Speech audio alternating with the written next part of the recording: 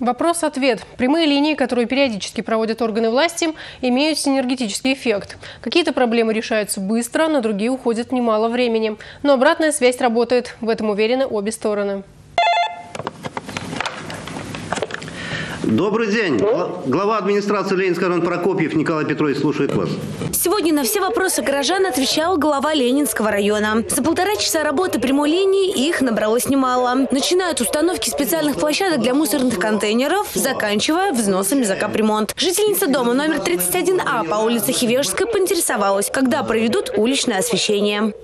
Последние пять лет активно строим э, внутри дворовое уличное освещение на дворовых территориях где по проекту при строительстве дома оно не было заложено. Значит, э, мы возьмем значит, на контроль ваш дом, ваш адрес и включим в ближайшие годы. А на адрес одной горожанки регулярно приходят штрафы на имя человека, который даже там не прописан. И она не знает, куда обращаться. Вы зайдите, пожалуйста, с этим постановлением. Мы через ГИБДД, мы обязательно этот адрес уточним, по какой причине, почему, к вам приходит, и разберемся. В этом доме на улице Тукташа недавно открылась кальянная и вызвала массу недовольства со стороны жителей. Дело в том, что они работают закрытым клубом круглосуточно всю ночь. И у нас сейчас в подъезде такая вонь, если не открывать окна. Я живу на втором этаже, и там никакой звукоизоляции нету. Всю ночь вот это они там настольные игры играют, разговоры слышных.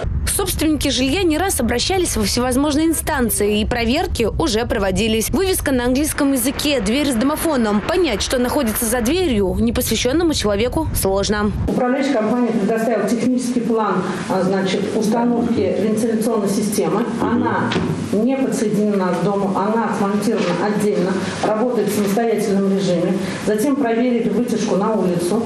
Вытяжка идет в соответствии с правилами, то есть на один метр выше крыши никаких замечаний. Ну, Сейчас если... происходит смена собственника. Они закрыты. Неудобства для жителей они не должны приносить. Последняя инстанция для данной жительницы этого дома суд. Суд решит и расставит цветочки.